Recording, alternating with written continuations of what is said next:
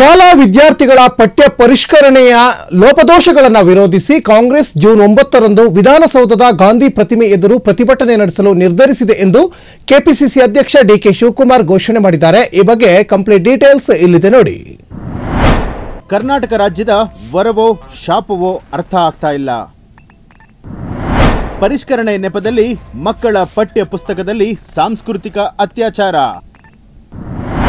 ಸಂವಿಧಾನ ಹೆಸರಿನಲ್ಲಿ ಸರ್ಕಾರ ನಡೆಸಿ ಅಂಬೇಡ್ಕರ್ಗೆ ಅಪಮಾನ. ಈ ಕುರಿತು ಸುದ್ದಿಗಾರರೊಂದಿಗೆ ಮಾತನಾಡಿದ ಕೆಪಿಸಿಸಿ ಅಧ್ಯಕ್ಷ ಡಿಕೆ ಶಿವಕುಮಾರ್, ಕರ್ನಾಟಕ ರಾಜ್ಯದ ವರವೋ ಶಾಪವೋ ಅರ್ಥ ಆಗ್ತಾ ಇಲ್ಲ. ಈಗ ಪರಿಷ್ಕರಣೆ ನೆಪದಲ್ಲಿ ಮಕ್ಕಳ ಪಠ್ಯಪುಸ್ತಕದಲ್ಲಿ ಸಾಂಸ್ಕೃತಿಕ ಅತ್ಯಾಚಾರ ನಡೀತಾ ಇದೆ. ಮೊದಲ ಬಾರಿ ಪೀಠಾಧಿಪತಿಗಳು, ಸಂಘಟನೆಗಳು, ರಾಜಕೀಯ ಮುಖಂಡರು ಹೊರತುಪಡಿಸಿ ಅನೇಕರು ಸರ್ಕಾರದ ವಿರುದ್ಧ ಧ್ವನಿ ಎತ್ತಿದ್ದಾರೆ. ಇದೊಂದು ಶಾಂತಿಯ ತೋಟ ಅಂತ ಹೇಳಿ ಎಲ್ಲ ಹಿರಿಯರು ಎಲ್ಲ ಕರೆದಿದ್ದಾರೆ.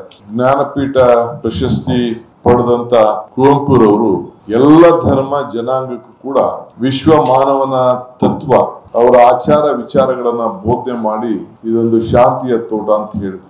ಈಗ ಮಕ್ಕಳ ವಿದ್ಯಾಭ್ಯಾಸದ ಪಾಠ್ಯ ಪುಸ್ತಕದಲ್ಲೂ ಕೂಡ ಅದನ್ನ ಪರಿಶೀಲನೆ ನೆನಪದಲ್ಲಿ ಸಾಂಸ್ಕೃತಿಕ ಅತ್ಯಾಚಾರ ನಡೀತಾ ಇದೆ. ಮೊದಲನೇ ಬಾರಿಗೆ ಎಲ್ಲಾ ಪೀಠಾಧ್ಯಕ್ಷಗಳು, ಸಾಹಿತಿಗಳು, ಸಂಘಟನೆಗಳು, ರಾಜಕೀಯದ ಮುಖಂಡರುಗಳ ಹೊರತು ಧೈರ್ಯವಾಗಿ ಬಂದು ಈ ಸರ್ಕಾರದ ಧೋರಣೆ, ಸರ್ಕಾರದಲ್ಲಿ ಇರಂತ ಮನಸ್ಥಿತಿ ಇದರ ವಿರುದ್ಧವಾಗಿ ಧ್ವನಿಯನ್ನ ಎತ್ತಿದ್ದಾರೆ. ಇನ್ನು ಮುರುಘಾಶ್ರೀ, ಸಿದ್ಧಗಂಗಾಶ್ರೀ, ಆದಿಚುಂಚನಗಿರಿ, ಪಂಚಮಸಾಲಿ, ಸಾಣಿಹಳ್ಳಿ ಶ್ರೀಗಳಿಗೆ ಯಾರ್ಯಾರು ದನಿ ಎತ್ತಿದ್ದಾರೋ ಅವರಿಗೆ ಕಾಂಗ್ರೆಸ್ ಪಕ್ಷ ಅವರ ಪಾದಗಳಿಗೆ ನಮಸ್ಕಾರವನ್ನ ಹೇಳಿ ಅವರ ದನಿಯ ಜೊತೆ ನಮ್ಮ ಧ್ವನಿ ಸೇರಿಸ್ತೇವೆ. ಇಂತಹ ಹಿರಿಯರು ಸಾಹಿತಿಗಳಿಗೆ ಅವರಿಗೇನು ರಾಜಕಾರಣವಾಗಬೇಕು? ವಿದ್ಯಾಸಂಸ್ಥೆ ನಡೆಸ್ತಾ ಇದ್ದಾರೆ. ಸರ್ಕಾರ ಮಾಡಿದ ಕೆಲಸ ಅವರು ಮಾಡ್ತಾ ಇದ್ದಾರೆ ಎಂದಿದ್ದಾರೆ.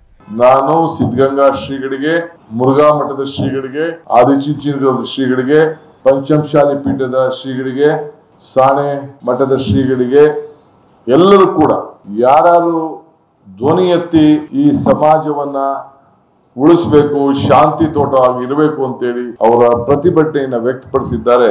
ಕಾಂಗ್ರೆಸ್ ಪಕ್ಷ ಅವರಿಗೆ ಒಕ್ಕೂಲದಿಂದ ಅವರ ಶಾಸ್ತ್ರ, ಅವರ ಪಾದಗಳಿಗೆ ನಮಸ್ಕಾರ ಹೇಳಿ ಅವರ ಧ್ವನಿ ಜೊತೆಯಲ್ಲಿ ನಮ್ಮ ಧ್ವನಿಗೆ ಕೂಡ ಸೇರಿಸಲಿಕ್ಕೆ ನಾವು ಪ್ರಯತ್ನವನ್ನ ನಾವು ಮಾಡ್ತಾ ಇದ್ದೇವೆ. ಇಂತಹ ಎಲ್ಲ ಹಿರಿಯರು, ಸಾಹಿತಿಗಳು ಅವ್ರಿಗೇನ್ ರಾಜಕಾರಣ ಬೇಕು ಎಲ್ಲರೂ ವಿದ್ಯಾಸಂಸ್ಥೆಗಳನ್ನು ನಡೆಸ್ತಾ ಇದ್ದಾರೆ. ಸರ್ಕಾರ ಮಾಡಕ್ ಆಗದೆ ಹೋದ ಕೆಲಸಗಳನ್ನೆಲ್ಲ ಈ ಧರ್ಮ ಗುರುಗಳು, ಸಮಾಜದ ಗುರುಗಳು ಎಲ್ಲ ಕೂಡ ಮಾಡ್ತಾ ಇದ್ದಾರೆ. ಬಾಬಾ ಸಾಹೇಬ್ ಅಂಬೇಡ್ಕರ್ ಅವರು ಸಂವಿಧಾನ ಶಿಲ್ಪಿ.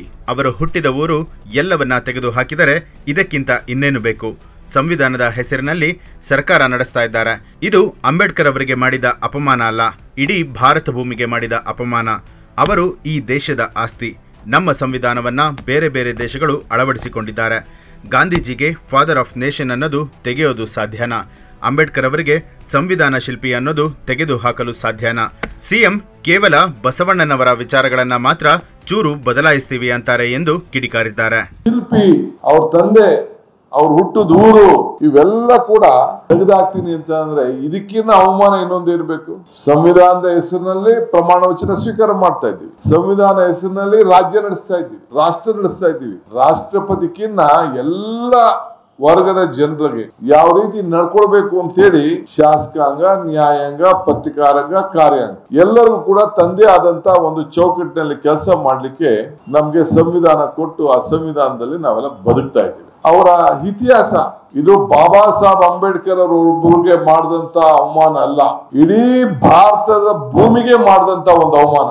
ಒಂದು ಪರಿಶ್, ಜಾತಿ, ಒಂದು ಪರಿಶಿಷ್ಟ ಪಂಗಡದಲ್ಲಿ ಹುಟ್ಟಿದ್ರು ಅಂತ ಹೇಳಿ ಅವರಲ್ಲ ಆಸ್ತಿ ಅವರು ಈ ದೇಶದ ಆಸ್ತಿ, ದೇಶದ ನಾಯಕರು. ಇಡೀ ಅಂತಾರಾಷ್ಟ್ರ ನಮ್ಮ ಸಂವಿಧಾನವನ್ನ ಒಪ್ಪಿ ಅವರ ಬೇರೆ ಬೇರೆ ದೇಶಗಳಲ್ಲೂ ಕೂಡ ಅಳವಡಿಸಿಕೊಂಡಂತ ಒಂದು ಇತಿಹಾಸ ಇದೆ. ಅವರೊಬ್ಬರೇ ಏನ್ ಮಾಡ್ಲಿಲ್ಲ?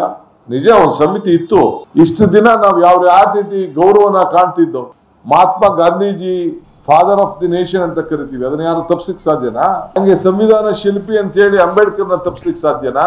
ಬಸವಣ್ಣವರ ವಿಚಾರನ ಹೊರಗಡೆ ದೇಶದಲ್ಲಿ, ಇಡೀ ಭಾರತದಲ್ಲಿ ಡೆಲ್ಲಿಲೂ ಕೂಡ ಅವರ ವಚನಗಳನ್ನ ಯಾವ ರೀತಿ ನಡ್ಕೊಂಡು ಬಂದ್ರು ಅದನ್ನ ಏನಾದ್ರು ನಾವು ತಿರ್ಸಾಕ್ಲಿಕ್ಕೆ ಸಾಧ್ಯನಾ?